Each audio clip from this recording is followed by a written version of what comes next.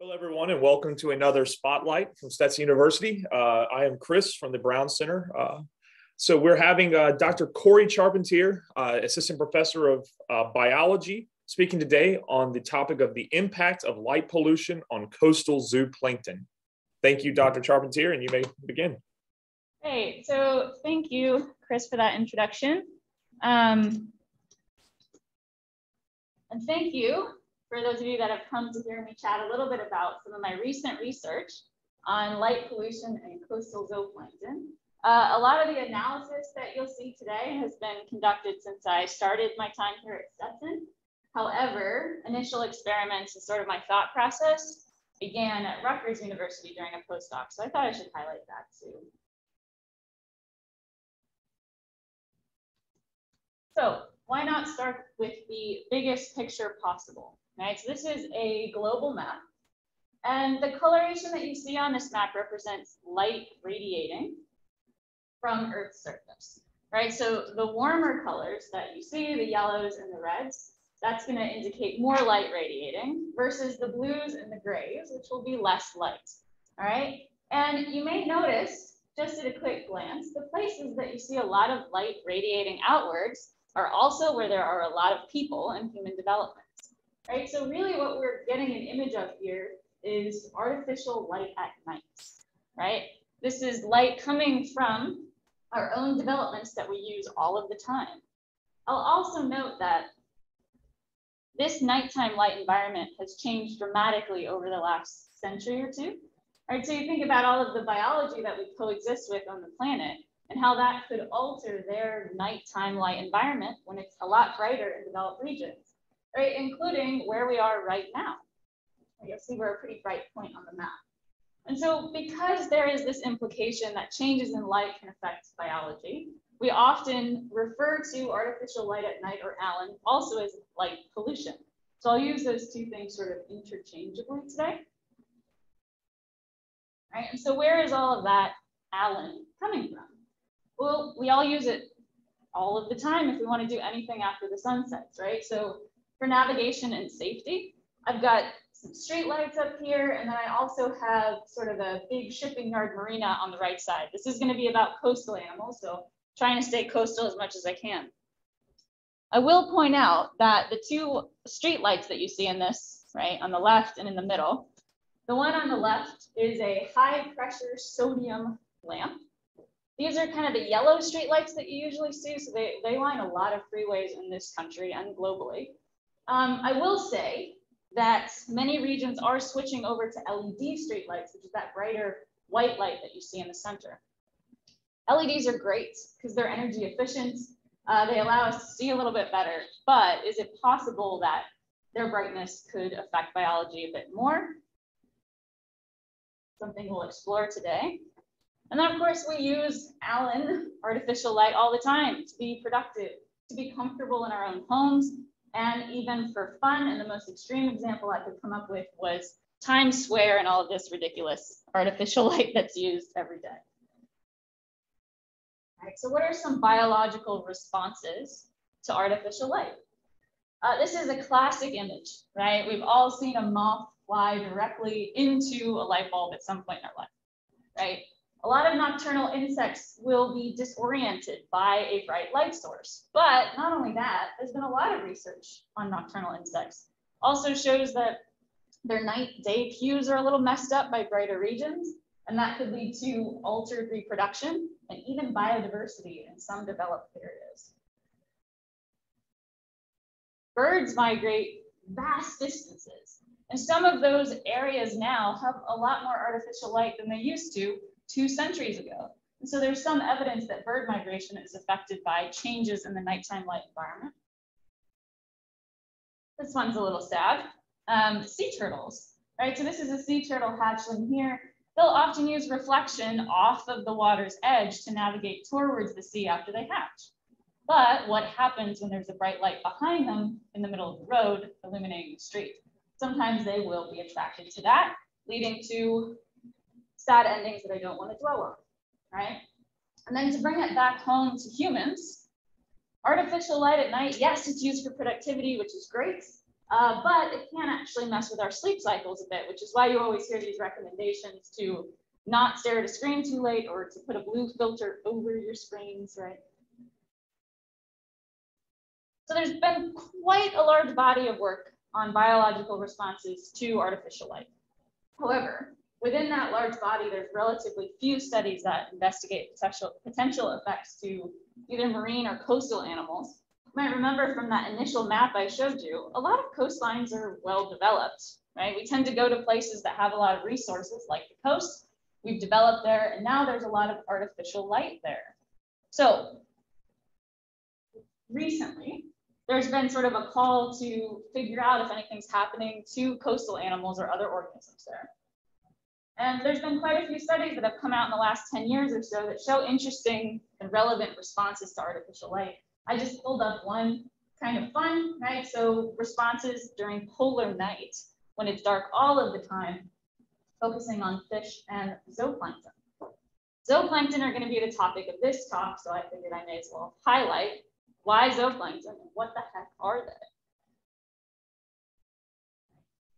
Here are a few examples of coastal zooplankton. Zooplankton are animal drifters. So that means that they don't swim very well against a horizontal current. Uh, they can swim up and down okay, which we'll talk about a little bit more later. But the idea is they're not strong like a fish, so they can't fight the current. They end up drifting and they're sort of suspended in the water column. So here are three examples. So I've got a little crustacean, a copepod on the left, a mollusk in the middle, that's a pteropod, and then a comb jelly on the right-hand side. So many plankton are quite small, particularly the two on the left there, are about the, the tip of your pen is a close estimate to how big they are. Um, all three of these examples exist suspended in the water column as plankton their entire life history.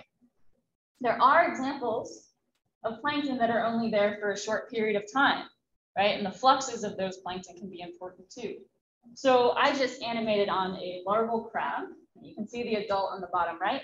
That is not to scale. The adult is much bigger than the larva, but I wanted a reference. Right, so these animals are in the plankton for a few weeks, sometimes a few months before they mature into their adult form that hangs out on the bottom or rocky shorelines in this case. This is a larval barnacle, right? So I think most of us are familiar with barnacles, but maybe not what they look like when they are just emerging into their life cycle. So this is a planktonic larval barnacle. Oysters are also part of the zooplankton community, right? So there's lots of these oyster larvae in this region actually, which is great. And then fish, right? So I've got one representative larval fish here. This happens to be a summer flounder on the right side. And so the question is, why use zooplankton to determine potential effects of artificial light in coastal ecosystems? Well, I hope that you can tell, even if you've never seen any of these animals before, that this is a really diverse group. Right, so zooplankton represent a lot of different uh, shapes, sizes, and species within, right? There's even multiple phyla shown just on this slide. And so if we can figure out what's happening within the zooplankton you can learn more about the overall picture in the ecosystem. They also serve as a, we call it a trophic link. Uh, essentially, they're fish food, right? And they eat microalgae, which a lot of other things can't eat, and pass that up into the food web. So it's important to know what this trophic link is up to, how it's responding. And then because they're eating all this algae, they do migrate up and down, which we'll talk more about. They are pushed around in coastal ecosystems. And with them, they carry things like carbon. So we want to know where they're going to determine more about nutrient cycles. And so the main question of my talk today is how does ALAN, this artificial light at night, impact coastal zooplankton? Before I tell you exactly how I tested uh, this question, uh, I will give a little bit of background on zooplankton responses to light. Uh, that way I can better frame my experimental approach, which was twofold. Right, first, I conducted a bunch of behavioral experiments in the lab to see if I could pinpoint specific responses in different animals. And then this past summer, went out into the field to determine whether some of those behavioral changes that I've observed could be picked up by sampling zooplankton from different depths. Right? And as you will figure out while I'm talking through this entire project, these data are new and they're still being analyzed. And so I'm kind of in the midst of this work. So I feel like it's appropriate to close with ideas for future work in the short term and long term. So if we're going to talk about zooplankton behavior, we should discuss what it's like to be one, right? So imagine yourself suspended in this water column. Really doesn't look like there's a ton of information here, right? Kind of a bland place to live.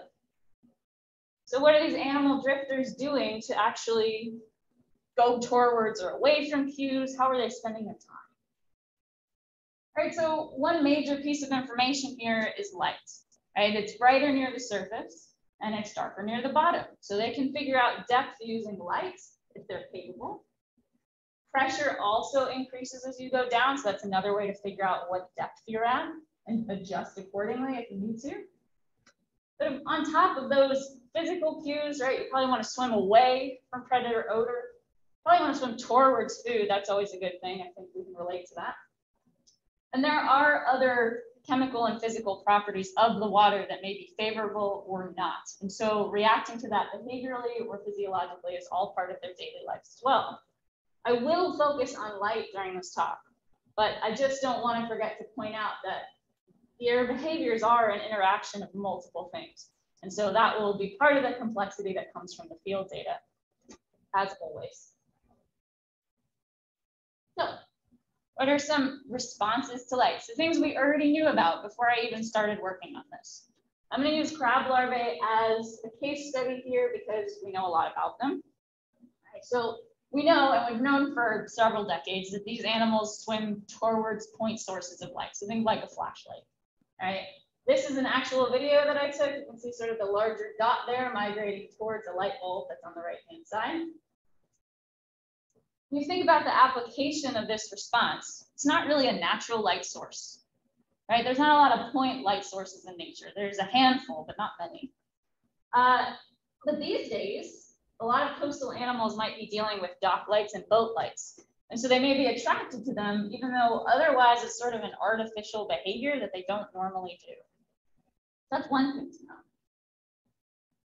But it's also not how they behave to all lights right? So they actually swim away from what we call diffuse downwelling light, kind of the normal changes in light that penetrate through the water column, right? And so if they detect a change in light above them, they tend to swim down. Of course, diffuse downwelling light can come from the sun, it can come from the moon, and these days it can actually come from sky glow, right? You can see in the image on the bottom right there, above a nice little city or townscape, we have almost a looming glow, right? And so that's the summation of scattering from all of the artificial light sources below. Uh, you can see it coming up in the distance when you're about to hit a rather developed region? And so increase in sky glow could act more like, oh, I don't know, a full moon when it's not a full moon. So it is something to consider. I'm gonna show a really short video clip of this descent response where they're swimming away from downwelling light.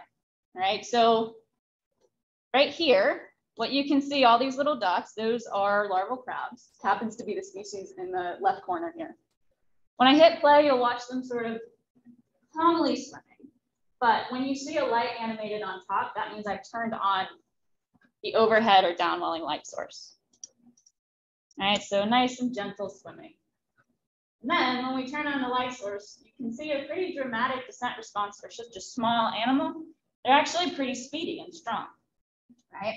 And so you can tell this is the opposite response of before. They're not going towards the light, they're going away from it. And so this adds a layer of complexity when we think about coastlines that have both point and diffuse light sources. Right. I've talked about crab larvae. They are not the only contributor, right? There's a lot of animals that exist in the zooplankton community. Some of them have strong directional responses. We just saw that with the larval crabs. Uh, copepods, which is the animal featured just to the right of the crab there, they have pretty strong directional responses too. They're similarly crustaceans, they're decent swimmers. Uh, this is a barnacle larva, right? And they, they do respond directionally to light, but it's a, a little less pronounced, um, appears slower and less dramatic. And then you have things like oyster larvae. I would say they have a relatively weak response. There is some evidence, I just, I put up one paper there, Wheeler et al. They found that in response to light, these animals tend to increase their spinning behaviors and there's some indication that they might die but it's just not as strong and directional as some of the other species that uh, exist in the plankton community. So why might there be variation here? Some pretty simple answers. Uh, some of them are stronger swimmers, right? They've got nice appendages, they can navigate through the water really well, much better than if you just have, you know, a little bit of musculature to help you move and you're only in the water column for a bit. But crab larvae and copepods, they're strong swimmers in order to respond to light, in addition to swimming, you have to be able to see it, right? And so what I tried to blow up there, but the resolution changed on this for some reason. Larval crabs and a lot of other crustaceans have sensitive, high functioning visual systems, right? So they have these compound eyes, uh, they see very well, they're sensitive to changes in light, and there's a lot of work that supports that. And so having a good visual system helps you swim away from light or towards light. It's also important to note that the spectrum of the light matters, right? This figure is from a publication by Cohen et al. in 2015. And they essentially measured physiological responses in the retina of a larval crab. And so they measured that, that's on the y-axis, the relative response. On the x-axis, you can see different wavelengths. If you don't deal with light and wavelengths a lot, I put a cheat sheet of a rainbow under there, right? And so the point here is their data, the dotted line that you see with the points, the peaks in the blue, right? This indicates that these animals, these larval crabs, are sensitive to blue light. This is not a novel finding. There's a lot of species that have a very similar response. We know tons about marine crustaceans and several other marine animals that are most sensitive to blue light. And really not much else. You can see in the reds there, it drops off completely. A good reason for this could be that, well, blue light penetrates through the water column farther than anything else. So you may as well use the most reliable light cue in your visual system. All right, so I want you to remember that a lot of marine animals are quite sensitive to blue in particular. And hopefully I set the stage to defend my approach, starting off with some behavioral responses in the lab asking the basic question, is zooplankton behavior affected by artificial light? And I took three different species to test this question, a larval crab, a larval barnacle, and a larval oyster. I've already talked about these a little bit on purpose, uh, so that I could set the stage and say, these all have different responses to light. Some of them are stronger than others. And so by testing across the spectrum, maybe I can learn about variation in response in the community I did quite a few experiments here. Um, some of them looked at changes in diffuse downwelling light that were both natural and artificial, and some looked at point source light changes, right? So we're comparing basically responses to sky glow, which is an artificial light, or maybe a dock light or a boat light. For the diffuse downwelling light experiments, I subjected these animals to flashes that resembled moonlight, Others that loosely resembled high pressure sodium streetlights, that yellow streetlight that we saw before. And I'll explain what I mean by loosely. And then also a light source that resembled LED streetlights. Right, so they got all of those treatments. And then I did a series of experiments with point source light given an LED flash or LED lights that have the blue wavelengths removed, the ones that we think that they're most sensitive to from previous work. For the purposes of today, I'm going to share and focus on an experiment with a larval crab and focus on diffuse downwelling light. So those are the results that you're going to see. Right. And before I could do any experimentation at all, I had to figure out, well, what kind of lights do I want to use? What makes sense? All right. And so I went out and found the spectra of some environmental cues that I thought would be relevant. Right, the first one being moonlight. So you can see light intensity on the y-axis across the, the wavelengths. This is going to be a spectrum for each one. And again, I put my little rainbow cheat sheets there for you as well. The moonlight data came from Dr. Sönke Johnsen uh, from, at Duke, who has a very sensitive light meter and was nice enough to share it with me. As you can see, the full moon spectrum is pretty broad, right? You've got all kinds of wavelengths, nice smooth curve there. That's going to be a little different from our street light sources. So the yellow high pressure sodium lamp street light doesn't have much of a blue contribution at all. It's got some peaks in the yellows, the oranges, and the greens, right? That's why it appears yellow to us. The LED street light that appears white to us, I want to focus on the fact that it has a very large blue peak. This is typical of LEDs, particularly the ones that are marked cool LEDs, right, when you go to Home Depot or Lowe's. They have a large blue peak, which is important if you consider the animal response to that or the potential one. So I took this information and tried to mimic these light sources in the lab in a behavioral chamber. Right, and so, like I said, some of them are loose representations, but let me talk through it. Um, so same idea, we've got the spectrum of each of these when you look at, when you look vertically, right? So the full moon mimic is right under, and that's a xenon arc lamp, right? So you can see I have a lamp that mimics that spectrum roughly because it's a nice broad spectrum. As far as our yellow street light, well, I didn't have one in the lab. So I made do by sticking a filter in front of the xenon arc lamp that at least cuts out the blue, right? And so we can see what it might look like to remove some of that blue light and have a yellower spectrum, although not a perfect mimic of the sodium lamp. And then on the right, I have an LED lamp that I could use as a street light mimic for that one, and that matches up pretty well. So these lights are placed outside of a dark enclosure, a dark chamber. And the light will bounce off of a mirror at 45 degrees, pass through a diffuser, and hit a water bath. At the very center of that water bath is a chamber that contains the animals. Right, and I will say this is not entirely to scale, and I want to give you some perspective here. The chamber within that water bath that contains animals is about uh, five by five centimeters, so it's pretty small. I fit approximately 25 animals for this experiment each time. Okay.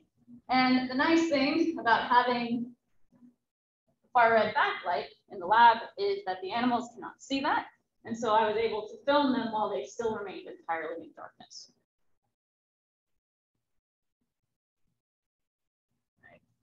So the output looks much like the video that you saw towards the beginning of the presentation, where I've got this nice bright background and dark dots on that background so I can trace them. So I measured a few parameters here, but I'm going to focus on one of them, which is the percentage of animals descending, right? That's the, that's the data that I'm going to share with you. It is the most interesting data set that I have. Um, essentially, if you have an animal, at the start of a video clip, you can say, all right, it's at this coordinate, and then figure out whether or not it actually swam down. The cutoff I used was plus or minus 60 degrees. So you can see that in the representation on the right-hand side here. All right, so I calculated the percentage of animals descending and I gave them a bunch of overhead light flashes of different intensity to see what happened at all of my lamps. And so eventually, this is going to be a three panel figure situation, but I'm going to overlay them on one at a time so I can talk through them. And so what you're looking at is the percentage of animals descending, right, plus or minus 60 degrees, across different light intensities. And the first lamp results are for my xenon arc lamp, which you might remember, resembles the moonlight spectrum. Right, you can see there's two curves on here. It is behavioral data, so it does look a little messy. Uh, the black trend that you see are animals that are swimming in the dark, right? In order to figure out if they're responding to light, I have to know what they're doing in the dark as a baseline. And then animals that are exposed to these overhead light flashes are shown in red, right? So that's like the before and the after. So what I had to do here was run some statistical analysis to figure out if these two curves are actually different from each other. So I did this each time, but we'll start with this one. So we ran a little model and the asterisks at the top, these will pop up every time, right? If I found a significant result. So in this case, it looks like, yep, the light is different than the dark, so they are responding. I then ran some post hoc tests, or a post hoc test, to figure out, okay, well, at which light level can we actually detect this? In this particular lamp, it looks like the brightest light level indicated by the asterisk here. Looks like the brightest light level elicited a descent response. Great, all right. We're gonna see the same thing for the other lamps, right? So here is my xenon arc lamp with the filter that looks like the yellow light. Same thing, we've got dark and light trends. I ran a statistical analysis. And again, I do find that there's a difference between the dark and the light. And so what I'm thinking is, oh, wow, yeah, you can definitely see, right? A little bump up in the percent descending. But when I ran my post hoc tests, no differences were determined. Again, behavioral data can be a little messy. And you should notice that the response does appear to be a little lower at around 40, 45% versus closer to 60. And then the last line, the LED lamp, right? Ran my statistical analysis again. I do find that there's a difference between light and dark. So all three had the same result here. Great. Then when I ran my post hoc test, the three brightest light levels came out here, right? So there's a significant descent response at those three levels. Right, what this indicates is, or suggests, I should say, is that the LED responses are a little bit more dramatic, particularly than the filtered light, and maybe even the moonlight right? And I'm gonna just overlay, this is just visual, there's nothing mathematical about this gray line. But what the gray line shows, or what I tried to align here, is you know, roughly the maximum response for the average of the maximum response that we're getting in the filtered light, right, in the sensor here. This helps me see at least when I drag that over to the LED lamp, that there's an increase of about 10 to 15% of the animals that are descending. So I find it hard to see without adding the line. I don't know if that's a me problem, but it does help you see, okay, well, maybe there is a difference and it's supported. And that's happening with the LED light in particular. So uh, an appropriate follow-up question here is, yes, this is a behavioral response that was measured in the lab. But labs allow you to control a lot of things. So can you actually find this depth signature in the field? Right? In theory, when things swim down, they will be deeper. But is this just a small lab experiment that you can't reflect by field data? Right? It's important to at least try to find out. So this past summer, with the help of some wonderful students who I'll highlight in a second, I went out into the field. And you can see this is another one of those radiance maps. Um, these data are from NOAA. To help orient you, the north end of the map is around Daytona Beach and the south end, Titusville is towards the south end right here. All right, so we went out to two field sites. One of them was in Canaveral National Seashore, where it is pretty dark, right? There's not a lot of light pollution in the national park. Uh, the image that you see on the right side there is outward looking from our field site. Uh, but when we actually measured and collected things, it looked like that, right? Because all of these measurements were taken after astronomical twilight bright site we selected was in New Smyrna Beach, kind of right in the center of that nice orange flame looking section of the radiance map. And you can tell that just by the picture on the right hand side, which again is an outward looking photo of our field site. You can see lots of artificial lights there. According to these data from NOAA, the bright site is about 100 times, actually more than 100 times brighter than the dark site. In order to sample plankton from specific depths, we couldn't just willy-nilly dump a net in the water. We had to have a nice uh, discrete setup. And so I used a submersible pump to do this that I could lower to different depths in the water column. Water was pumped up through some hosing and PVC, passed through an inline flow meter into a plankton net.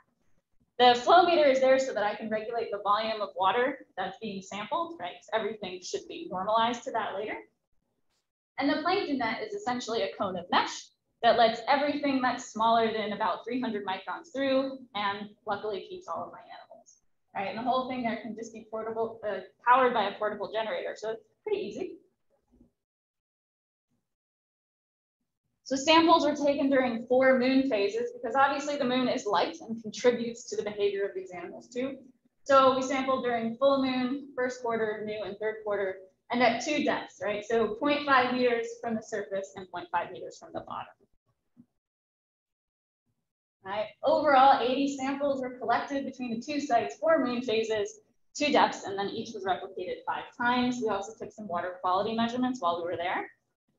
So these three students, Laura Jones, Tom Sesson, and Brenia Sosa, all came out to help me over the summer, right? And they not only just collected zooplankton, but they helped collect zooplankton in places like Mosquito Lagoon in the middle of the summer at night. It is exactly what it sounds like right? So these are troopers, and I'm really thankful that they were able to come and help out. So once the samples are collected, I drain out the plankton and I collect them from the cod end and basically this little cup at the bottom of my illustration. Each sample was split with a Folsom splitter. Half of that sample was used for biomass analysis, so it was put on a filter and frozen for later. And the other half was preserved in formaldehyde, where we can look at the abundance of different animal groups within the sample. The biomass analysis is done. I have some data to show you. The abundance analysis is in progress, but I will talk about it. Right, so this is one of my senior research students, Brenia Sosa. Right here, she is measuring wet weight and dry weight of each of the samples we collected. Right, so she took them out of the freezer, got some wet weights, dried them for at least 24 hours and took dry weights of each. And typically, uh, when reporting biomass, we'll use dry weight per whatever volume of seawater was filtered. So I'm going to show you some data of milligrams of dry weight over uh, meters cubed of seawater filtered. Remember that we actually went out four separate times, right, for each of the four moon phases that I described. And so the graph you see here is showing biomass between those two sites, right? So there's a dark site and a bright site. And then the different colors of the graph represent the shallow sample, which was 0.5 meters below the surface, and the deep sample, which was 0.5 meters above. Right? At a first glance, you might notice, all right, well, there's more biomass at the dark site. At least it appears to be. And I don't know if there's much of a depth signature. We'll keep looking.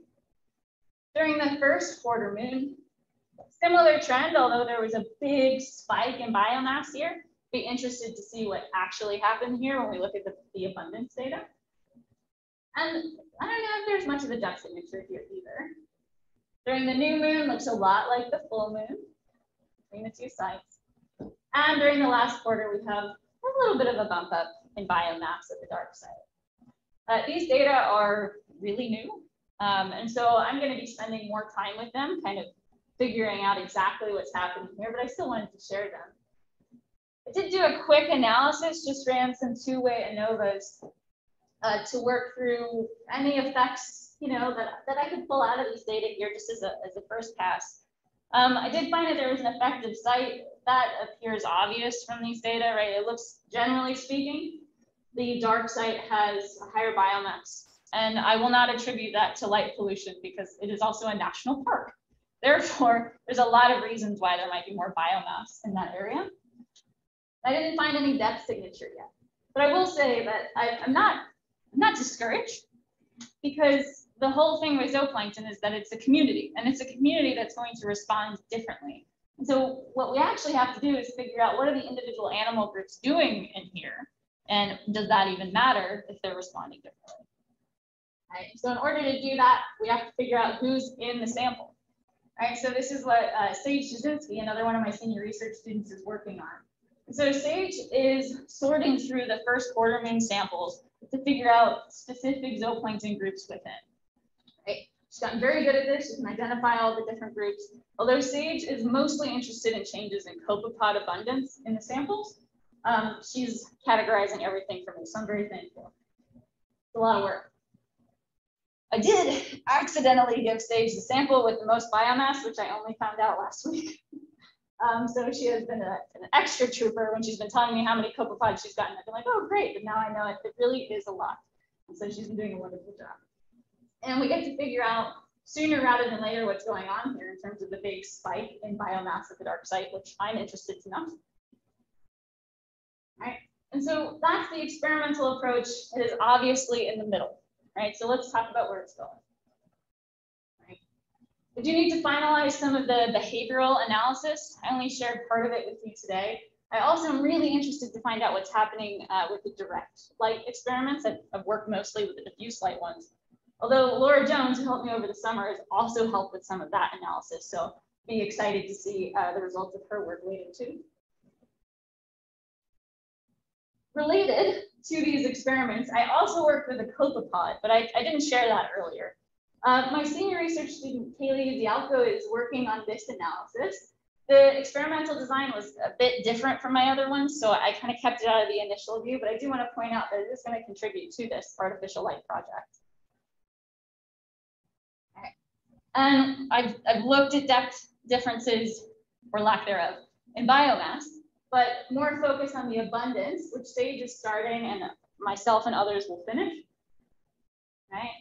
But related to that is actually figuring out what some of the local zooplankton community members are actually doing and what their behaviors are like.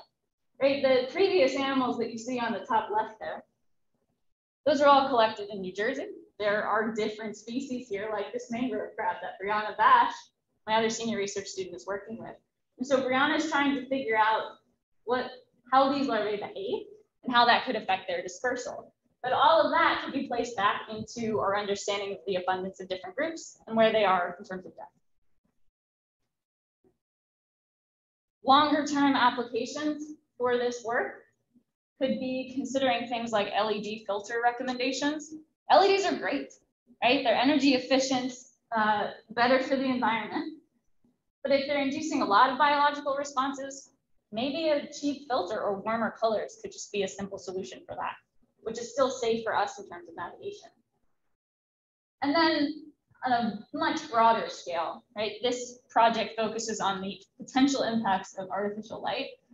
There are other things happening in local ecosystems. And so zooplankton, because of their biodiversity, are an interesting indicator of ecosystem resilience if you're able to sample them long term. So that's another thing to consider based on the results of this experiment and then maybe applying some of those methods moving forward. All right, so before I close, want to make sure that I thank a few folks here.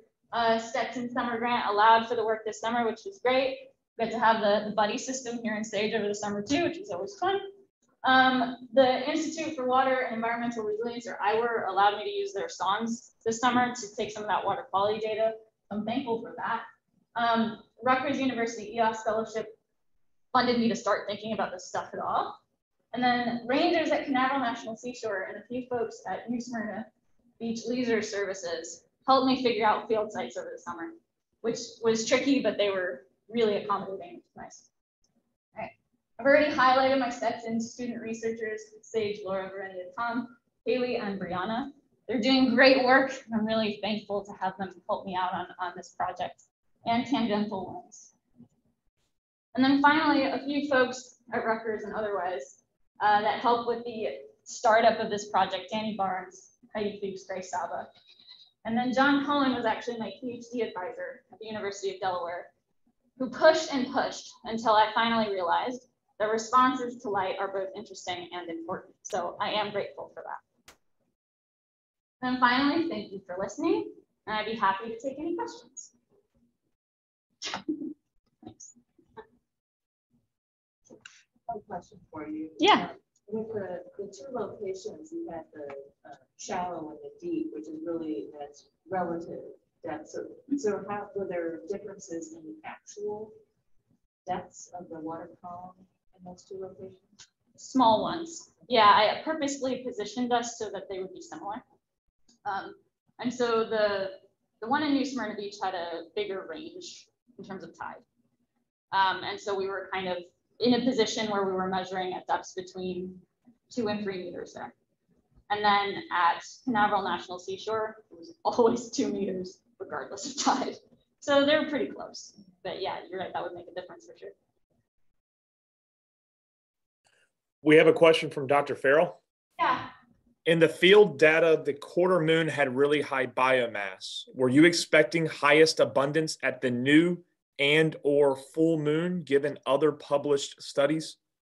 I, I was, uh, I was because moon cues a lot of hatching in terms of some of the benthic species that we have, right? It's a good time to hatch because you can flush your larvae offshore for a bit. And so, yeah, I was really surprised by that. I do not know what's going on, um, but I will know a little bit more about the individual groups within when we look into the abundance data. But yeah, I was not expecting that, nor do I know exactly what's happening. So we'll find out. I mean, based on the timing of these two, there were some tidal differences that were sort of unavoidable. So I'll look more into that and see if there's any signatures there that make sense. Um, but yeah, I was also surprised by that. And then um, there was one other person. Give me one second to look them up. Who it was? Uh, Dr. Work uh, says, "Fantastic job, thank you." Thanks, Dr. Work.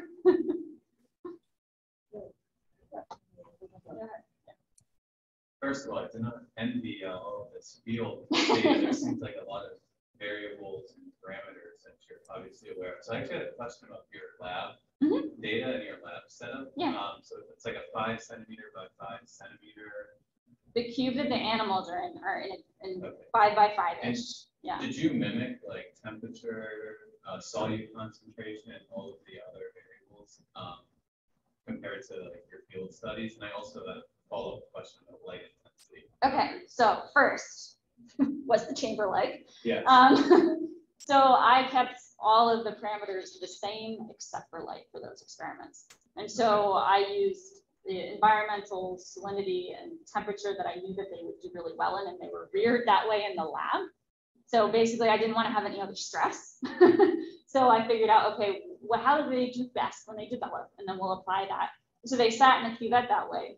But then I was able to control the light environment and stick them in the middle of um, essentially Snell's window for light. And so they weren't getting any sort of bright light cues on the outside of that either. So yes, all of the parameters in there, not mimicking necessarily the fluctuations in the field by any means, just looking at the light effect, which will then be affected by those, hence the necessary field step afterwards.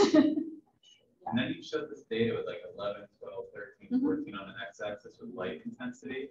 I'm assuming that also mimics that you're studying. So I guess, I'm assuming I know the answer to this, but the reason you stopped at the highest light intensity is because if you kept going, that would no longer mimic uh, the environment. Because it seems like you're seeing, at least to me, an effect, which makes sense at higher light intensities. Um, but are you able to go higher or are you just stop because it's basically pointless if you went higher? Yeah, um, all of those things, actually. So the light levels that range use, is pretty common. Depends on, on the clouds and other things, but pretty common around twilight, which we know is when a lot of these animals move. And so I've done more experiments than I'd like to talk about um, with crab larvae and what light intensities work for them. And I've used other light sources to do that, but I had a good idea of what intensities to use prior to the experiments. They also do mimic things that are more natural, like you don't want to blast them with light. And I have found, although I, I'll admit, I wish I had gone one further in this experiment, but it is hard to tell when you're doing it. you're gonna get, the data doesn't just pop out for you, unfortunately. Um, but I wish I had gone one brighter here for each of these, but when you, when the light is too bright, they just get confused. Um, and we don't always see, and sometimes they get so confused that they just like stop and then swim up and down and sideways. It doesn't make any sense. It's just not relevant, that increase. To go from dark to really bright doesn't make sense. Yeah, that was a good question.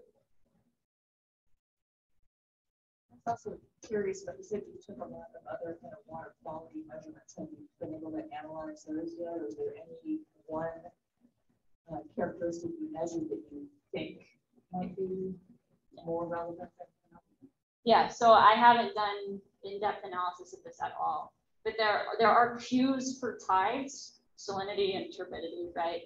And on those days, I'm going to be very aware of the effect of if I had a tide coming in, that abundance is going to be different and therefore the biomass is going to be different. And so I have to be really careful about the way that I talk about these data. Um, because of those cues too, but at least I have all of them and I have tidal data. And so, you know, I can point out the weaknesses where they're appropriate. Uh, but yeah, I have a suspicion that when I have incoming tides, that's going to be very different than some of my other data points. So find out. This is your hand raised from before. Yes, it is. Thank you for pointing that out. Uh, Dean Scomp says, thank you for the opportunity to hear about your research and your collaborations with students and colleagues. That's nice. Thanks, Dean Scott.